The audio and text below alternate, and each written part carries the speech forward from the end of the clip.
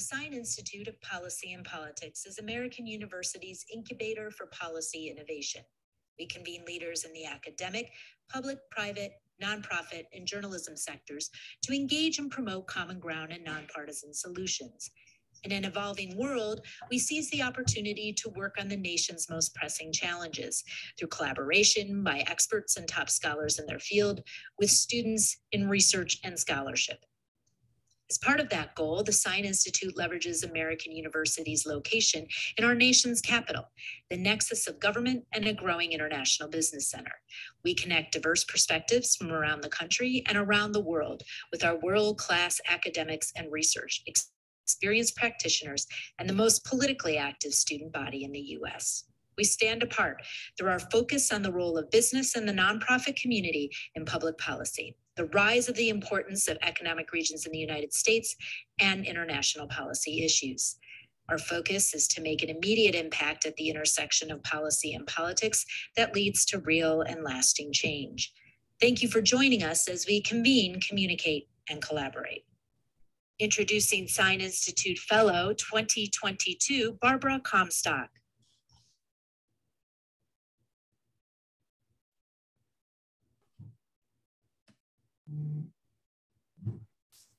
Good afternoon. Wonderful to be with you uh, for today's program, which is going to be on women in the arena in the Supreme Court.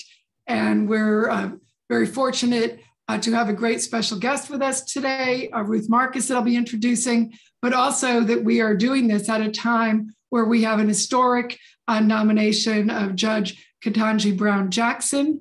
And uh, while there's been a lot of things going on in the world, I think that probably hasn't gotten enough attention because of uh, sort of the crisis times we're living in. But it is truly an exciting and historic nomination of the first uh, Black woman to be on the Supreme Court. There have been 115 members of the Supreme Court to date. Only five of them have been women. Uh, now, we've discussed in previous classes how you know women first came to Congress in 1917. Of course, it wasn't really until the 70s that they started getting elected on a more regular basis, and they're still only about uh, 30% of Congress. But the Supreme Court took a quite a bit longer. In 1981, when I first came, I graduated from college, came to Washington to go to Georgetown Law School, um, was the year where Ronald Reagan had um, nominated Justice Sandra Day, Day O'Connor, the first woman to be nominated to the Supreme Court. Now, Ronald Reagan had uh, promised in his 1980 election to nominate a woman to the Supreme Court. So, you all may have seen a little bit of the news recently that uh, some people were talking about that it was controversial that uh, Joe Biden, President Biden was nominating, said he was going to nominate a woman when he ran, but uh, Ronald Reagan did very much the same thing. And it came about because Ronald Reagan, in large part, and this is his, his own um, staff have kind of added this to the historical record along the way, have said that Ronald Reagan was dealing with a gender gap in 1980 when he ran against Jimmy Carter. And Margaret Heckler, who was then a congresswoman from Massachusetts, a Republican, um, said, you know, it, this would be a good idea because Ronald Reagan at that time did not, you know, he, had, he didn't support abortion rights, didn't support the ERA. It was thought that that was hurting him with women, although we can discuss that separately. I don't think that necessarily was the issue, but he did um, make this um, promise to nominate. He, he actually said one of his first picks, but indeed it was his first uh, choice to put on the Supreme Court. Now, one of the things that I also think is particularly interesting about Sandra Day O'Connor is that she did not have the traditional um, path to the Supreme Court because back then women did not get those traditional options. Now, Sandra Day O'Connor had gone to Stanford Law School. She had been number three in her class. Uh, number one in the class was um, Chief Justice Rehnquist, um, and when she came onto the court, he, he, was already on the Supreme Court when she came on. He wasn't Chief Justice yet. Um, they actually dated a little bit in college, just a little interesting aside. Uh, law school. He actually asked her to marry him. She went another way. Uh, may not have ended up on the court if they had been married. But she ended up, when she got out of law school, while Justice Rehnquist had all these great offers as the number three uh, ranked student at Stanford. She was um, only offered like secretarial jobs, and she ended up uh, taking a job, I believe it was um, for no pay initially. She said she um, she worked in a um, oh, I'm find my notes here. She she was a magna cum laude graduate at number three. Um, she actually was married and she had difficulty finding her job. She was um, offered secretary jobs and took a job as a deputy county attorney in California after she offered to work for no salary and shared her office with a secretary. Eventually, you know, pretty quickly they did decide to pay her because she was very good. Then her husband was drafted. She went off to Germany with her husband, worked as a civilian attorney um, in overseas, had three sons, and um, then when she came back to Arizona, which they were then living, she was an assistant attorney general in Arizona. She was appointed by the government to these Arizona Senate when there was an opening, but then she also got elected in her own right and became majority leader. And then she was appointed to the Maricopa County Superior Court, the Arizona State Court of Appeals, and then she was um, on the Court of Appeals uh, when she was nominated. So while today, and we can we'll talk about, um, uh, I'll probably let our special guest talk about uh, Judge uh, uh, Brown Jackson's stellar record. Back then, women weren't offered those paths that are often the traditional path to the Supreme Court. But fortunately, Ronald Reagan, for political reasons largely, um, made the commitment that he would find a qualified woman. And she actually, and, and Sandra Day O'Connor had been active in Republican circles, was known to Republicans, and got appointed. Uh, then it, it took 12 more years to get another woman, which was uh, Ruth Bader Ginsburg, that you probably, you know, was, you know, hope you've seen the movies, recommend them highly. There's several of them, documentaries, movies, and you can see Ruth Bader Ginsburg also had a sort of a non-traditional path because she had the same challenges that Sandra Day O'Connor had had. And then again, it was um, a while again before uh, we got um, Justice Sotomayor, who was the first Latina American um, uh, woman nominated uh, by uh, uh, Barack President Obama, and then Elena Kagan. Uh, Justice Kagan came on shortly thereafter, and then in 2020, uh, Amy Coney Barrett was nominated, and now we have um, Justice uh, Ketanji Brown Jackson. But it is always, you know, along the way, it's always been political. When when when Ruth Bader Ginsburg um, passed away, and President Trump had the opportunity to nominate him. It had been very clear from his, you know, his two previous nominations were men replacing men. Um, if, if he were to have that opportunity to replace Ruth Bader Ginsburg for any reason, Amy Coney Barrett had sort of been the nominee that folks had thought, and because that's the way Trump thought, sort of, oh, we have a woman to replace a woman. um, that was, you know, he said right from the start he was going to uh, nominate a woman for that spot. So the idea that you know nominating a woman is something strange has only become you know I, I don't I, am a Republican as you all know, but that's been a, a bit of a, a, bizarre turn of events that uh, people have complained about that. But because we have a great guest here today who kind of we're in the same age bracket. Uh, we have followed these Supreme Court, Court nominations, both men and women, um, throughout our careers in, in different ways that we can talk about. So I wanted to introduce our special guest today, um, Ruth Marcus, who also was an um, American University Sine Institute fellow, I believe it was last year. And she began writing uh, for the Washington Post while still in law, law school. She also went to Harvard Law School and uh, formally joined the paper after graduation. She has been with the Washington Post since 1984, joined the national staff in 1986, covering campaign finance, the Justice Department, the Supreme Court, and the White House. From 1999 through 2002, she served as deputy national editor, supervising reporters who covered money and politics, Congress, the Supreme Court, and other national issues and she joined the editorial board in 2003 and began writing a regular column in 2006. She is also the author on a, a, Supreme Court book called Supreme Ambition Brett Kavanaugh and the Conservative Takeover, uh, which was published in 2019. And so I am delighted to um, have uh, my friend and special guest here, Ruth Marcus, join us today. Great to see you today, Ruth. Hi, Barbara. Um, thank you for having me, and thanks again to the Sine Institute for all it's done. And this is a, a great topic, so I'm really happy to talk about it.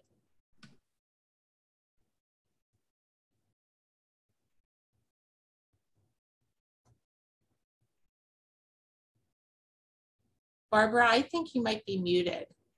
Let me see. There you go. okay, there we go. Now I've got my video off. Sorry about that.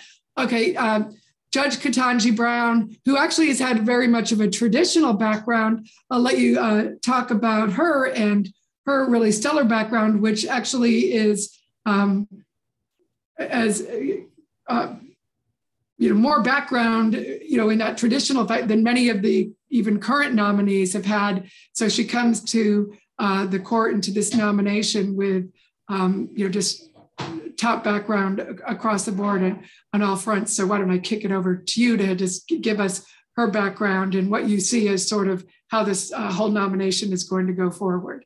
Sure. Um, well, it's it's going to be interesting to compare and contrast her background and Justice O'Connor's background because it really does explain the trajectory of how women have progressed through the legal profession or more explicitly how the legal profession has accommodated itself and society has accommodated itself to the reality of women lawyers and women judges. Um, Judge Jackson's background is uh, both traditional and not traditional. Um, it's traditional in the sense that she had opportunities available to her that a Justice um, O'Connor and Justice Ginsburg didn't really have available to them. When she graduated from law school, she was able to get clerkships, including with Justice Breyer, who she's slated to replace.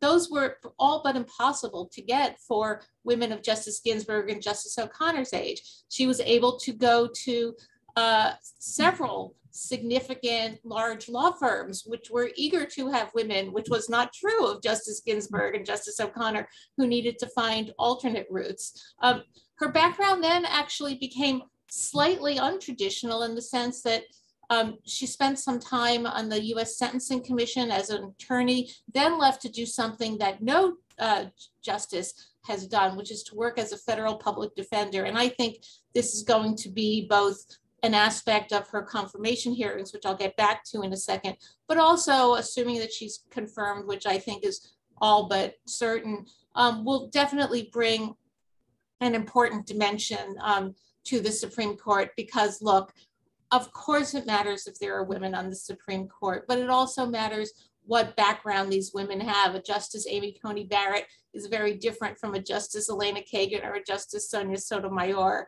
Um, so Justice Jackson uh, bringing that public defender and sentencing expertise to the court is a really important thing. Uh, then she became, um, after some time on the Sentencing Commission, um, a district court judge. And this is another um, really important um, piece of her background because we do not have uh, a lot of experience among the sitting justices of somebody who has handled trials. I think that Justice Justice Sotomayor was a district court judge for a while, unless I'm completely misremembering things. Um, but but most judges come from an appellate background. Justice Kagan was nominated to the DC Circuit but never confirmed, so she hadn't served as a judge at all.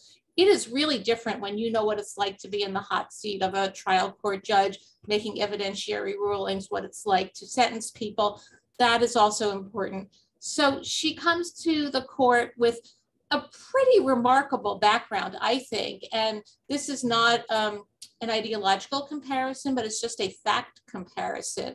Uh, because there has been some sniping about her relatively short time on the DC circuit. That's true. She's been on the DC circuit for less than a year, I think. But she also has seven or eight years as a trial court judge before that. That is more judicial experience than many of her male and female counterparts and future colleagues, um, including Justice Barrett, who had, I think it was three years on the Seventh Circuit before she became a judge. So I think it's going to be, I, I think we know that how this book ends. She will be confirmed. I think the interesting thing um, will be that very little, if any of this, will be about her being a woman, about her being a mom, one little digression is it's really interesting. Justice O'Connor and Justice Ginsburg both came to the court at, as married women, as married women with children, but their careers really, and their judicial careers certainly took off after that. Then we had Justice Sotomayor, who was divorced, Justice Kagan, who was not married, who came to the court um, without children. And now we have like this new generation of female justices who Justice Barrett, who famously has seven children. Justice Jackson's children are a little bit older than Justice Barrett's, but um, she has two. Um, and, and this, I think, really illustrates the development of women in the legal profession, which is you can't have it all, you can't have it all. These women know, as you do, Barbara, that you can't have it all, but you can have it in chapters and you can try to do your best with it.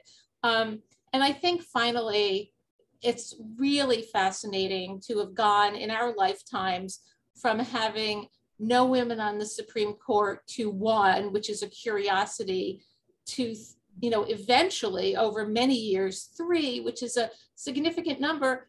Four is a plurality. That's one short of a majority it's a different world and this is a better world.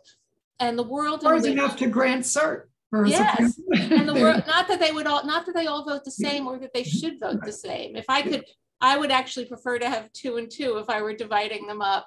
Um, but uh, just the last sentence I'll say about this is if you look at President Biden's ability to choose, even from the limited pool that he said, which was a Black woman, and President Reagan's ability to choose from the pool that he identified, which was a woman. There are so many, and this does not take anything away from Justice O'Connor, who was a terrific justice, but there are so many more women in the legal profession today, so many more women qualified and credentialed in the legal profession today that as much as we might wonder about where when equity finally comes this trajectory from O'Connor to Jackson really shows us from zero to four, really how far we've come. Yes. No, and, and I, I, do you think the, um, I know there's been some talk, I, I think it's an asset that she, and actually I signed a letter with other Republican former Justice Department officials um, in support of, uh, of Judge uh, Brown Jackson as, as did uh, Judge Michael Luttig, who was sort of the runner-up for the Supreme Court when, when John Roberts was picked, as well as uh, Judge uh, Tom Griffith and, another notable Republican uh, judges who've known her and know, know her work, who've, who've called upon Republicans to look at her record and understand. It. And I signed on to the letter saying, listen, I know I'm not going to agree with her on opinions the way that I probably will agree with um, Amy Coney Barrett or John Roberts and Sam Alito, whose confirmations I worked on. You know, those are more in, in where I might end up on a, uh, from a legal standpoint. Although I think what you always see is justices, no matter whoever appoints them, always surprise people and, and, and don't always do what you think they're going to do. And that included Ruth Bader Ginsburg too. And it also, you know, in the past in 2020 included all of the Trump nominees saying no to his Supreme Court appeals. Yay for them. But um, do you think there'll be any of her working in the sentencing commission or having that defense background? To, to me, it seems like an asset. I know when I worked at the Justice Department, the people in the senior roles, I always found, say, when Mike Chertoff uh, worked with the criminal division chief, I thought it was important that he had been a judge, that he had been a, you know, in the defense world, and that he understood the whole 360 of the judicial system. Uh, don't I mean to me it would be stupid to attack that because I think that's an asset to have on the court. But do you sense that that will be a line of attack? Absolutely. Prepare for stupidity. um, and prepare and it's actually not really stupidity it's deliberate obtuseness mm-hmm. um, and i'm going to name names here for where i think it um, is likely to come from and i but maybe not limited to that you have a number of people as you know on the senate judiciary committee who have presidential dreams of presidential campaigns dancing in their heads. And for them, um, we saw a little bit of a preview of this with a district court nominee who just got out of the Senate Judiciary Committee, Nina Morrison.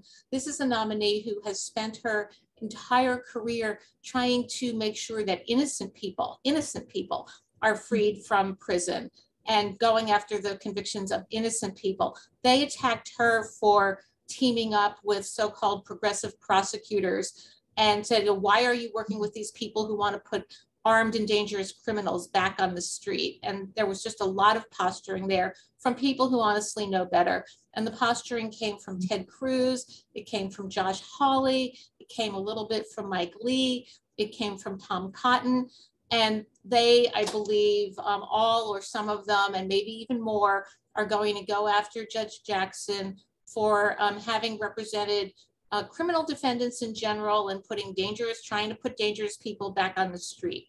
Pause for anybody who doesn't understand this. It is um, a constitutional necessity for um, people to have counsel. It is a constitutional necessity for indigent people to be provided counsel. It, our system cannot work fairly or constitutionally if people who are accused of crimes don't have lawyers. Those lawyers are doing a public service. Um, prosecutors would tell you they're doing a public service. Um, and their job is to represent their clients um, as zealously as they possibly can. So Judge Jackson is going to be attacked for that. She's going to be particularly attacked for, and I was just seeing some tweets about this before we started. She's going to be particularly attacked for representing Guantanamo detainees i.e., accused terrorists. And well, why did you do that? Why did you do that when you were a public defender? Why did you continue to represent them voluntarily on a pro bono basis after you left the public defender service and you were a lawyer in private practice? Answer this is what lawyers do. Lawyers um, take on the cases of, and you know, lawyers from John Adams back in the day representing um, British soldiers um, understand that our legal system requires zealous advocacy on both sides. You're not representing the Guantanamo terrorist because he's a terrorist. You're representing him because you believe in the fair um, application of the rule of law and that there are serious arguments. You and I might disagree about them, but we recognize that there are serious arguments about um, due process and right to um, hearings for these um, Guantanamo detainees, that is not going to stop people from kind of waving the bloody shirt of terrorism. It's not going to have an impact, except it may have an impact, probably to the better. I would wish to the worse, on their presidential hopes.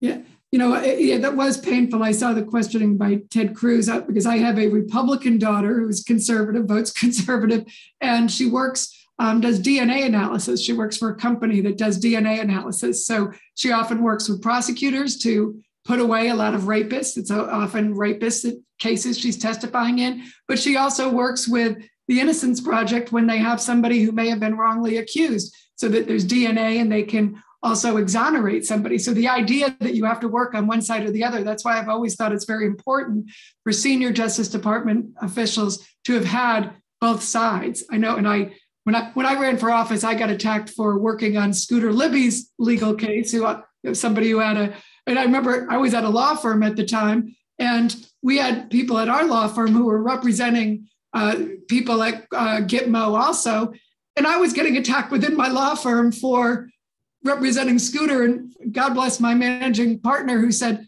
"Listen, we've got people representing Gitmo detainees. We got we got someone, and we're going to support them both." And that's what good law firms do.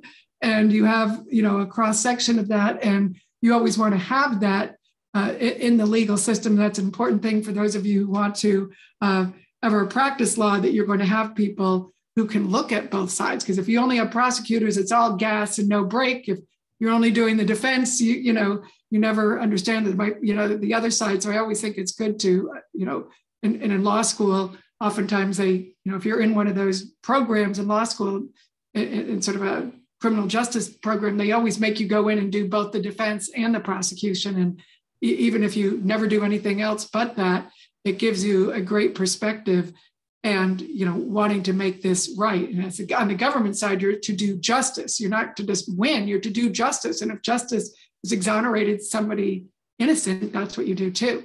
So we do have some questions here so i want to get them um, here. Uh, yes, it's a little bit what we've talked about on uh, Tyler is asking, what are your takes on uh, three GOP senators, Graham, Collins, and Murkowski, who voted for Judge Jackson?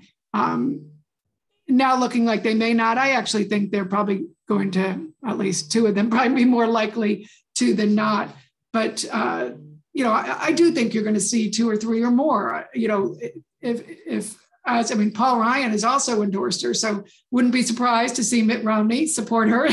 It's, a, it's a, they're sort of a distant family relation, but Paul has said she's got great integrity, brilliant, and you know all the things you would want in a judge. So um, where you know don't don't you think she will end up with some Republican support? I, I think that she's likely to end up with the support of Senator Collins. I think it's probable that she'll end up with the support of Senator Murkowski. Senator Graham seems to be in a bit of a snit because, um, as he is wont to do, um, because his preferred candidate, Michelle Childs, who's a nominee for the federal appeals court here in DC, um, was not chosen. It's really hard to see how he could justify voting for Judge Jackson less than a year ago to the DC Circuit and then refused to vote to confirm her to the Supreme Court. But I'm sure he'll find some distinction. I'm still crossing my fingers that he will um, change his mind. Uh, Senator Romney would be interesting, though he did vote against her.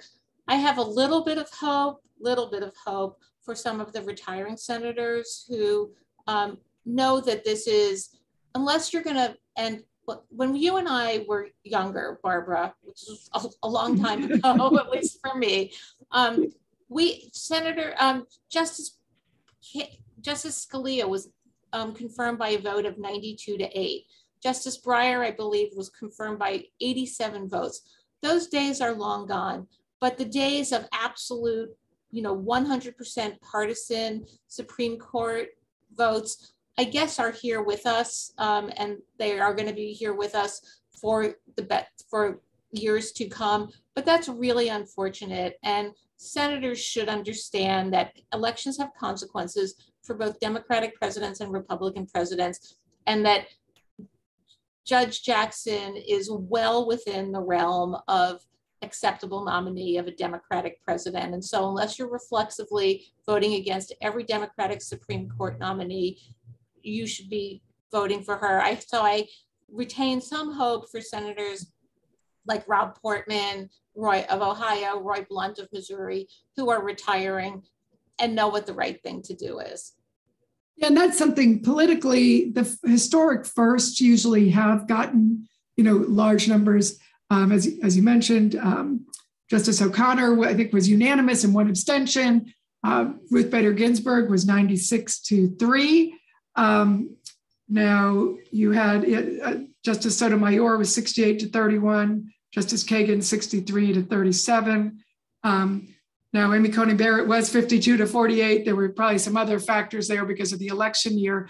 But we have a question about, you know, how politicized it has become. And of course, we, you know, Ruth and I, we lived through sort of the original, you know, the Bork hearings, which were sort of the original political, politicized hearing, um, where um, Justice, I mean, not, Senator Kennedy famously uh, went after Judge Bork as, you know, that he was going to, um, you know, ruin life as we know it, really went after it. I think a lot of the sort of original sort of animosity that's made it political really came out of that because he certainly, I, I can speak from the Republican side, that and just uh, Judge Bork was both a friend and a constituent of mine, and um, I uh, got to know him uh, well over the years. And of course, he was very instrumental in the Federalist Society and a lot of uh, judges who followed that Republicans have nominated. But um, I think that sort of resentment and then what followed with uh, Clarence Thomas, which of course had other issues related to it, but but really kind of got this whole politicized nature of the of court in motion. But I did want to I wanted to read something because I thought it was very interesting um, how oftentimes while you hear all these political things about these justices and the attacks, um, both sides have tended to be wrong on where somebody's going to come down on an issue, and this is an example of that. This was um, somebody uh, who Senator Kennedy didn't like a Republican nominee, and this is what he had to say about him. He said the nominee's record raised troubling, quote, raised troubling questions about the depth of his commitment to the role of the Supreme Court and Congress in protecting individual rights and liberties under the Constitution. His record on civil rights was particularly troubling, troubling. Among other things, when litigating on behalf of his state, the nominee had made reactionary arguments contesting the extent of Congress's power to protect against discrimination. And the nominee, quote, was willing to defend the indefensible. Um, and had demonstrated a willingness to discriminate against the poor and uneducated. And he, his record on sex discrimination raised troubling questions. And he was not genuinely concerned about the rights of women. And of course, he found the nominees' responses on Roe versus Wade, quote, alarming. Now, those quotes were all Senator Ted Kennedy um, talking about David Souter.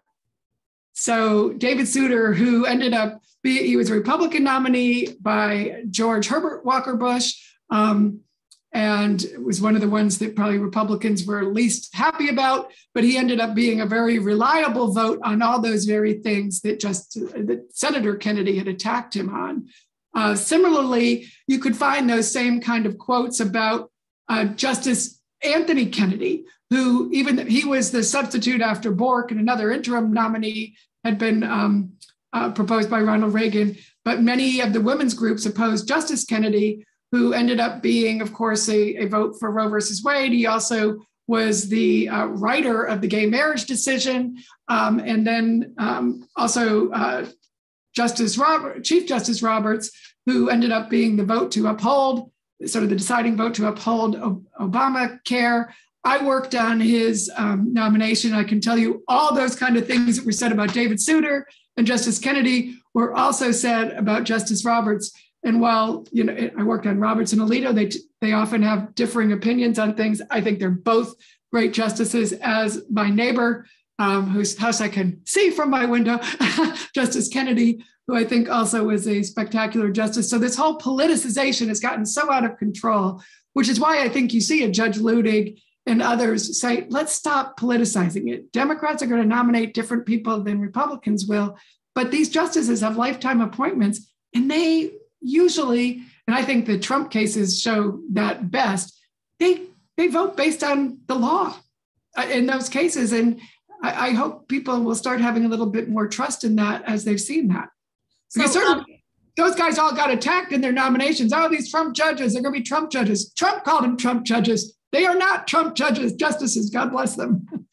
Uh, so, Barbara, I'm going to um, respectfully disagree with you on two fronts. Um, the, the, the first is actually about Judge Bork, and you um, referenced the career of Justice Kennedy, who was the third choice um, after the Bork nomination. There was another Ginsburg nominated, Doug Ginsburg, and that um, went up in flames, as it were, over um, allegations of smoking pot with students. And um, then we got Justice Kennedy. There was, I, I covered the Bork hearings. From my point of view, it, it did usher in, you're completely right, a new age in which, first of all, the issue of justice's, a potential justice's ideology became fair game. And second of all, it was a much more um, politicized process and the bad feelings about quote unquote borking persist to this day. I would argue that uh, Judge Bork's, um, it, that the Supreme Court was a better place from my point of view, which is different from your point of view, without a Justice Bork on there for precisely the reasons that you mentioned with Justice Kennedy. Um, if Judge Bork had been on the Supreme Court, um, we would not have um, seen uh, Roe versus Wade reaffirmed eventually um, in the Planned Parenthood v. Casey case, which surprised us all. We would not have seen gay marriage become the law of the land. There were many, many cases in which the fight against Judge Bork, which produced a Justice Kennedy, made a very big difference for our country, a difference from my point of view to the better. So that's disagreement number one. Um, disagreement number two um, is uh, about whether you can predict where justices are. Your quotes about Justice Souter, and I knew that punchline was coming, um, are totally spot on. I have um, really embarrassing clips that I wrote after even Justice Souter's first term on the court about um, how if he hadn't wasn't a home run for conservatives as um, uh, President Bush's chief of staff, John Sununu, promised he was at least like it was some baseball analogy, but a really good double. Um, and he turned out to be something quite different. I think those days have passed. Justices have moments when they surprise us, as with Chief Justice voting to uphold Obamacare, but much more now than ever before, justices are selected for and have sorted themselves out for and are carefully, carefully, carefully vetted by both sides for um, where their ideology is. That is why um, especially the Federalist Society and the Republican presidents who have increasingly relied on the Federalist Society have, have made it their um, promise to have no more Souters.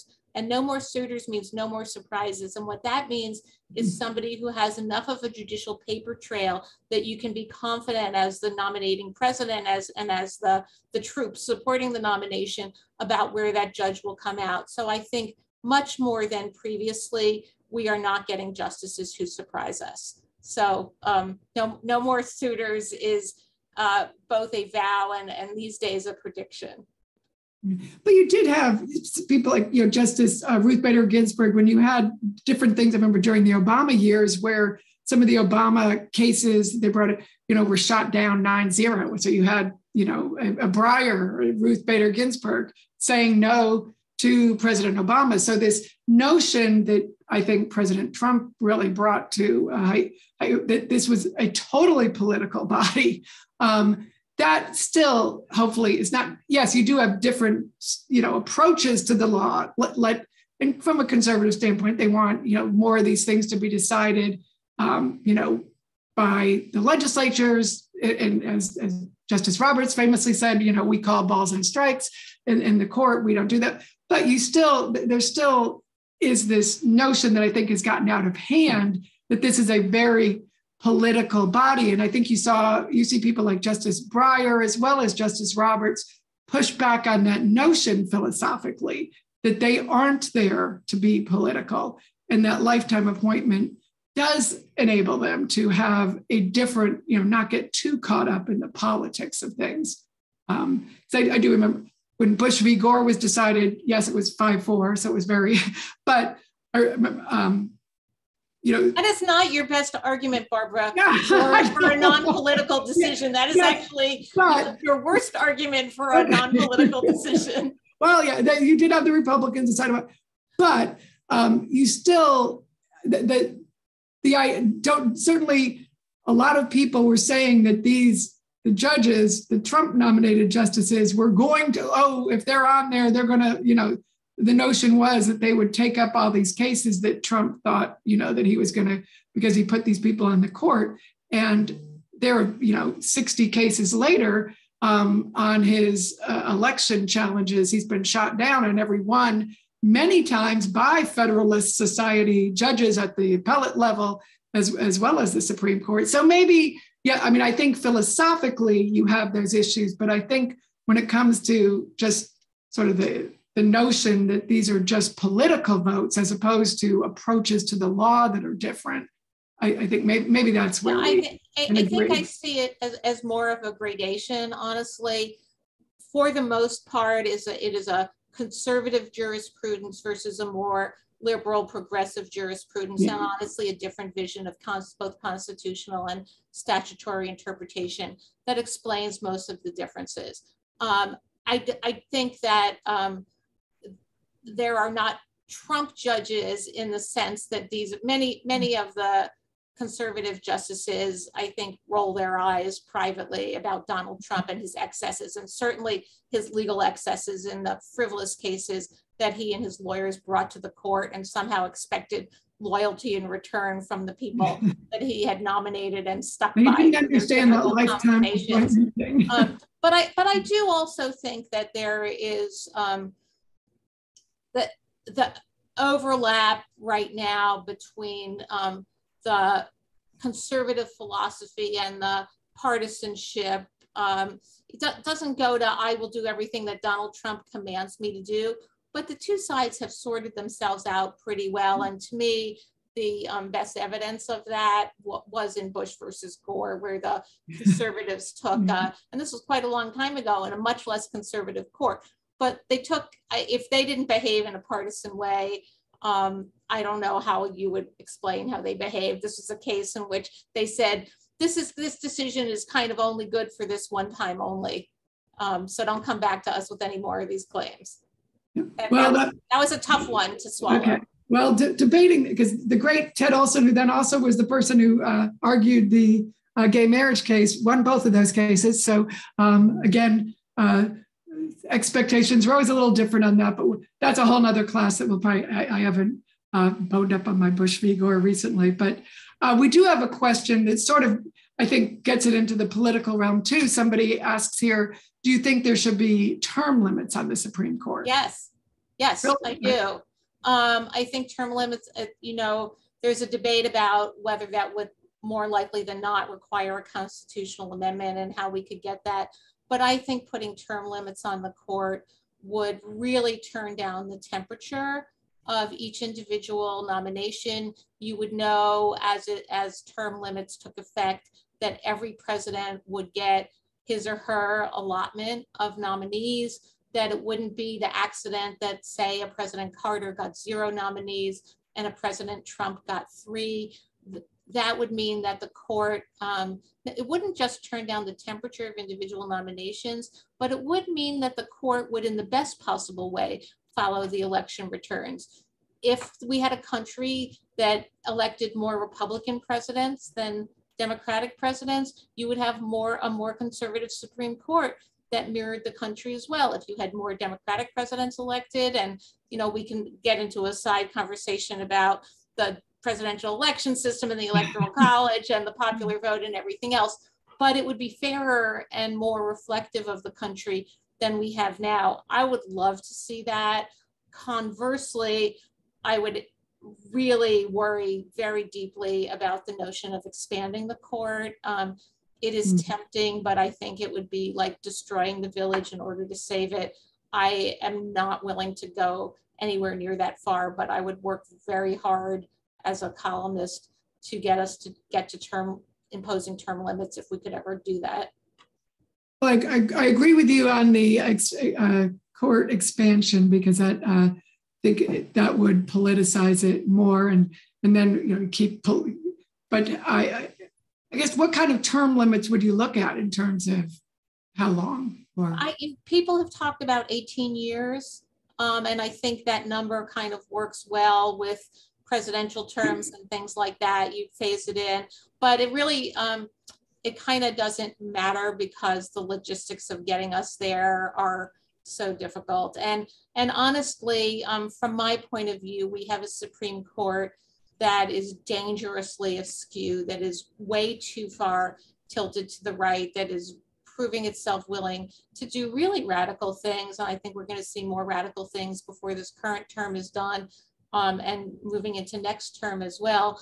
Um, and so term limits would not even by themselves solve that immediate problem. Because I guess, yeah, because well, we have uh, Justice uh, Thomas has been on the court for over 30, I guess it's a little over 30 years now. And, and then um, Amy Coney Barrett less, less than two. So that's the range we have right now. But with, with Breyer and Ginsburg there till recently, they had all served long.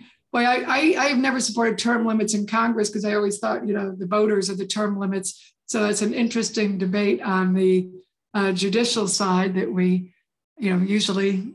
Well, there's two other things to say retirement. limits. Um, one is that uh, I do not think that the framers imagined uh, a lifespan as long as the lifespans that we're all hopefully privileged to live now um, so that when they provided for life tenure, it was a very different thing. The other thing is that I think that one thing that would be really good about having term limits is that it would incentivize president, it would remove the incentive for presidents to name people who are ridiculously young. I am, I have to say, a lot more judicious, if not smarter now at 63 than I was at 43. Um, I'm not sure they're going to be picking 63 year olds, but it would give you less of an incentive to pick people in their early 40s. You could pick people 50, 55, maybe even go crazy and pick 60 year olds because you know the likelihood would be that they would remain on the bench for their full term.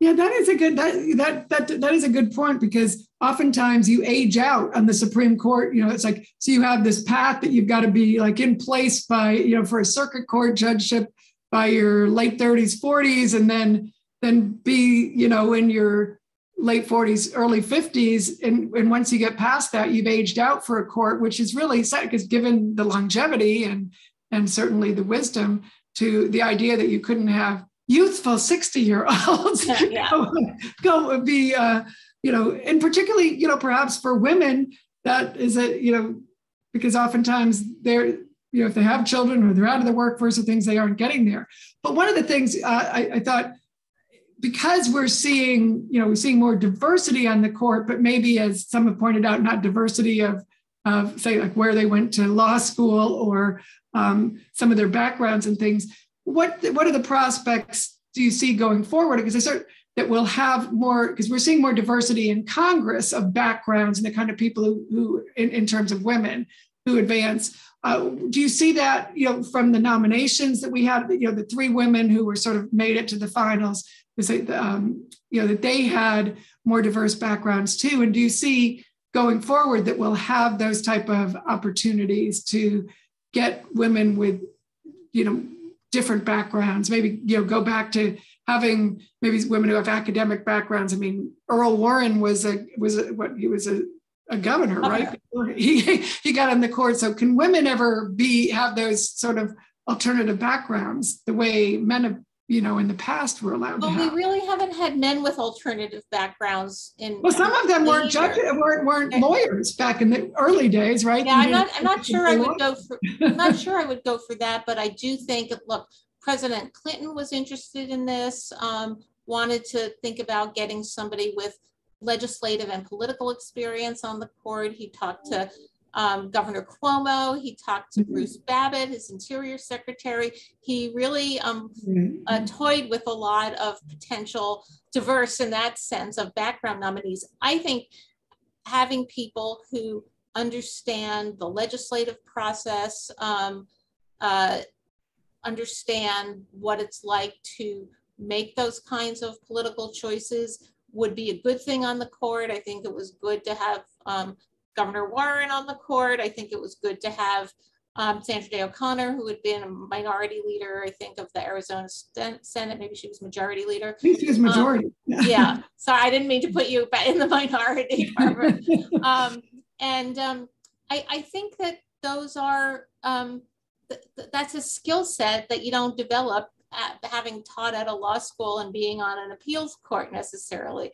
So I would like to see more of that. Um, it would be um, perhaps having gone to Harvard and Yale, I have to admit, maybe a little, um, I don't know, less than convincing for me to talk about um, academic diversity. I think it. Maybe we could have someone because that's one of the nominees. I mean, one of the finalists was someone who had gone to like state college, state schools, because the range of colleges and law schools of the current nine is pretty limited, right? It's very limited. Justice um, uh, Barrett went to Notre Dame, and that's Notre Dame, which I keep mispronouncing in the French way. Um, and that's pretty much it in terms of diversity on this court. Yeah, yeah. So that's so. So for all of you out there looking to go, it is safe. I, I think in the future, and I do think this is going to be the case for women in leadership and all kinds of roles.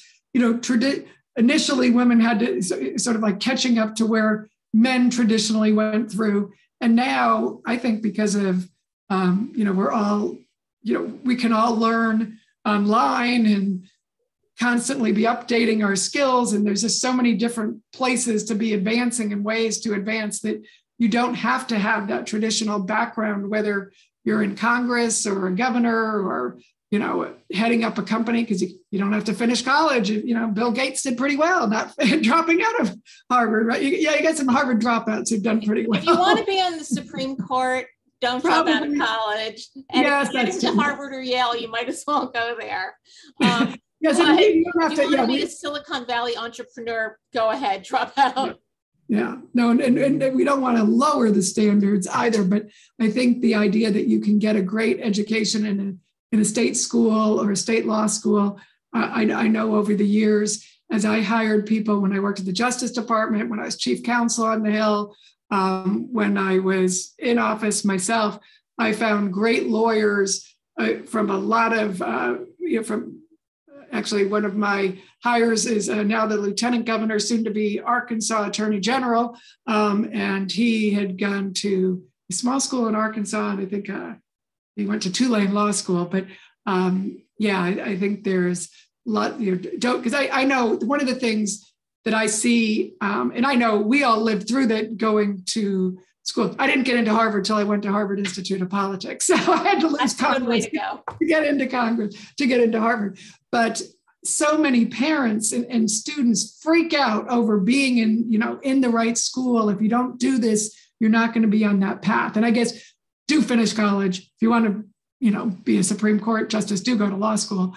And I, having worked on those, I did realize the people that I worked with on their confirmations, just Justice Roberts and Justice Alito, were in a realm of law that I never could have, you know, done what they do. I mean, Ted Olson, who was a solicitor general, the way he, you know, argues cases and learns them and and really, you know, knows that um, how, how, to present that. That's a totally different level. So um, I, I, think you do want to have people who uh, sort of like that. Ted actually didn't go to Harvard; he went to Berkeley.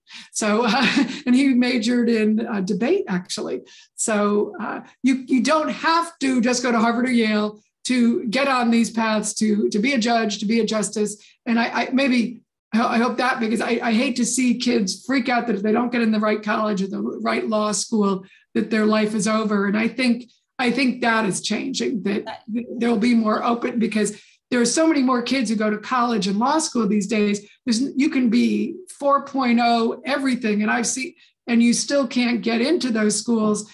And oftentimes, your parents or grandparents don't understand how much more competitive it is for you these days. But I think that also means that it's, you know, there are great, there's great talent and a much wider diversity of schools than, say, in our age, what people went to look for. Does that make sense? That makes total sense. Okay. Let me see. We have a few more questions here from the audience that I'll say. Um, okay, since a SCOTUS nomination is so huge, do you think that the nominees should be confirmed by not just the Senate, but also the House? Get confirmed. Well, as a House member, I say no, a former House member. I think, you know, I think the founders got it right. It would be even more politicized in that case. I can't, I mean, I was in Congress when there was a Supreme Court you know, two, actually two that were up. And people would call. I remember I, we'd get calls and they'd say, we don't want Barbara to vote for so and so. I said, well, don't worry, she's not voting. I tell her she, she can't vote. And they'd say, I remember we once had somebody call and say, I'm a history teacher and I want to tell you this, I don't want you to vote for that. I said, well, I can't vote for it. And you're a history teacher and you should know that and they got very upset with me. But um, so maybe our education system needs some more help too. But no, I'd, I'd say no on the House voting myself. How about you, Ruth? um, well, it would take Supreme Court confirmations from zoo to I don't know what's worse than zoo, but I'm completely in agreement with you. And it would take a constitutional amendment. Um, now, Biden, uh, uh, President Biden did initially have that commission on potentially expanding the court. That does seem to that we have a question about that. That does seem to have gone by the wayside now um, as we discussed a little.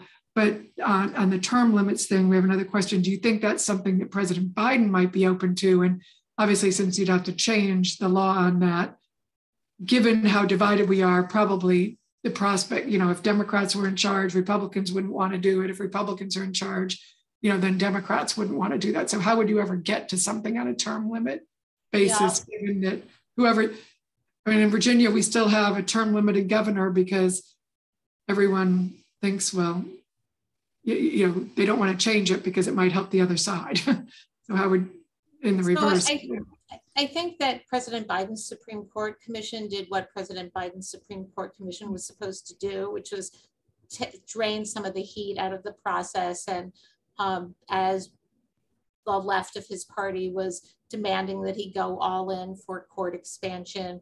Um, the best way to diffuse that is to name a commission to study it and take it seriously. And so they did. And so um, some of the energy has been drained off there.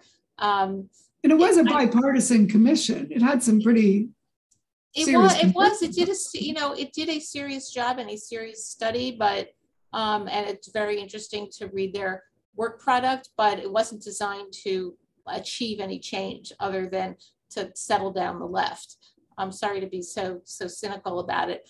Uh, i think president biden you know has a huge amount on his plate um, instituting term limits that would um, make the system better in the future might not be at the top of his to-do list and it would be hard to do um, uh, for all the reasons that you identified. Be an interesting kind of game theory question if you instituted this and you made it start at some time in the future, there might be some kind of veil of ignorance where both neither side would know whether that would end up um, hurting uh, their side or hurting the other side. And so who would be advantaged by that? you you could imagine it, but it still is a very, I think, um, unlikely outcome.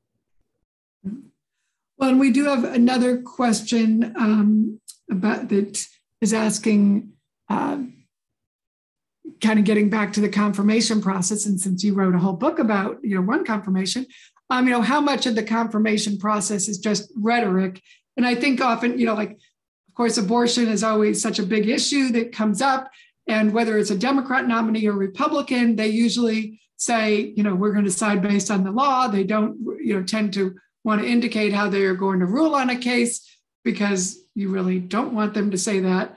And yet, whether if it's a Republican nominee, they kind of badger the Democrat to say how they'd rule and vice versa.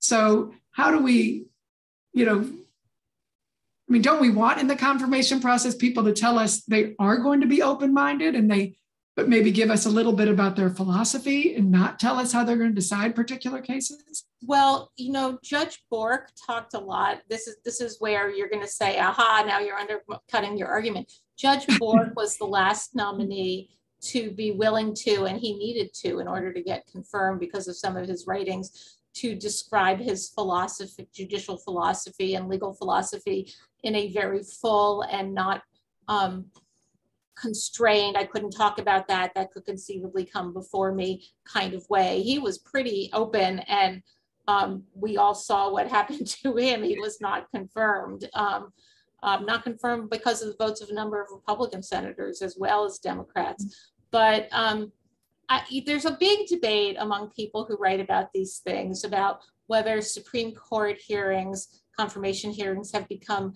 so much of a, I think Justice Kagan um, before she was Justice Kagan, when she was um, simply a law professor observing these things, um, described it as a charade. Um, whether they become so much of a charade that they're not worth having, or whether they are still valuable um, enterprises for the Senate and the country um, to go through. I am a believer in the second part. I think that there, there's all sorts of reasons, both um, legitimate because you don't want to say that you have a fixed view about something. And also tactical. You don't want to say i know i'm going to overturn roe v. Wade the minute i get to that point um, the minute that the choice comes before me. Um, you don't want to answer that question because you know you're just going to have first of all actually it would be wrong um, but also um, it would torpedo you with certain people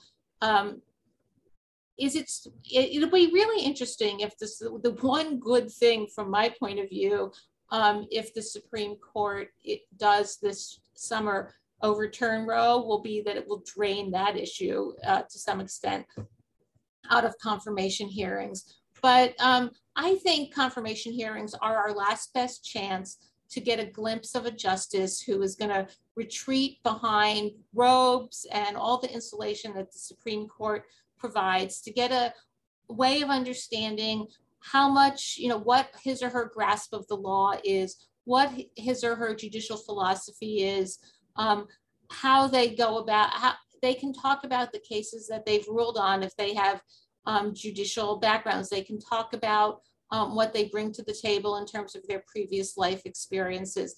There are always, there's always some question that um, for better or worse, um, trips up a justice. Justice um, Judge Bork, never to be Justice Bork, um, was asked why he wanted to be on the court, and he famously said because it would be an intellectual feast. Um, that's actually not what you want to. Uh, that was real on his part, but that's not probably why you should want to be on the Supreme Court because you want to do justice, because you want to uphold the rule of law, because you want to give uh, meaning to the phrases of the Constitution and to get it right. Um, I, this was an unfair one that tripped up Justice Barrett. She was asked about what the components of the First Amendment are, and she got maybe four out of five. And I just thought that did not say anything except for it's really exhausting to go through a confirmation hearing. Some people were were eager to jump on her for that, but I do think that confirmation hearings may be of limited value, but they are better than the alternative, which is no value at all. Okay. Well, and I know we we um, have to let you go for a meeting, but I wanted to thank you so much. And one of the things I, because I know since you're a student of the Supreme Court, I know one of the most famous relationships that I've always thought was wonderful. And you know, we all strive. I know one of the things the students have all asked is there really bipartisanship out there and collegiality. And I certainly, you know, as everyone knows, as, as, a lot of people know, I was a top target and had a lot of attacks, but I, you know, have great friends who were on the other side and got to work with on things. And being a friend and neighbor of Justice Scalia as well as Justice Kennedy, I always loved the stories about the relationship between Justice uh, Scalia and, and Ruth Bader Ginsburg. That was real and was so beautiful. And um, I do some work with the Scalia School of Government here, but also the Scalia Law School is there now.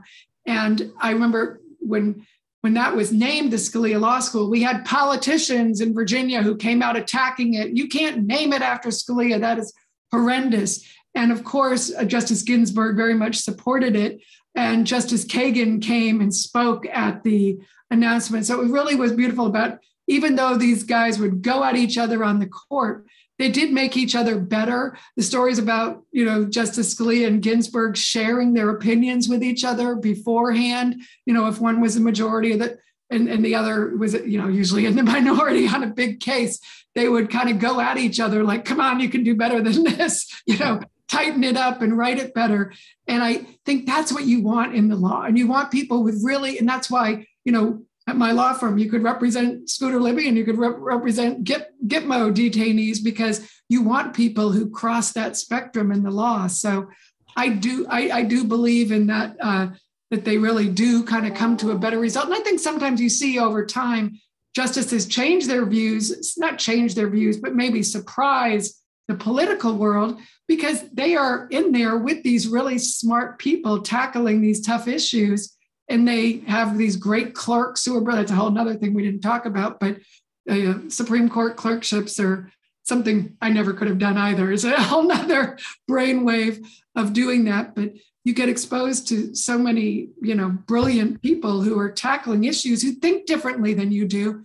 And you want to hear that and process that before you make that decision. So hopefully we will, I think we'll see some of that in action. I think if, if the, the senators who are run for president, they're always the worst questioners. And they always vote against the nominees because they want to run for president and say they voted against them.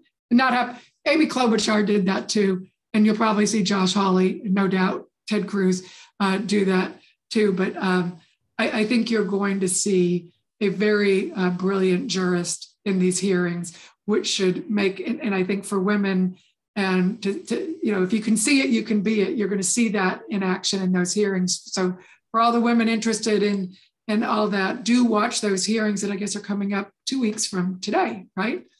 Yep.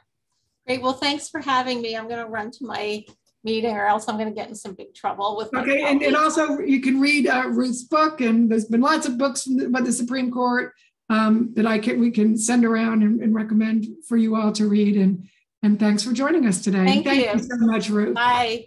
Bye.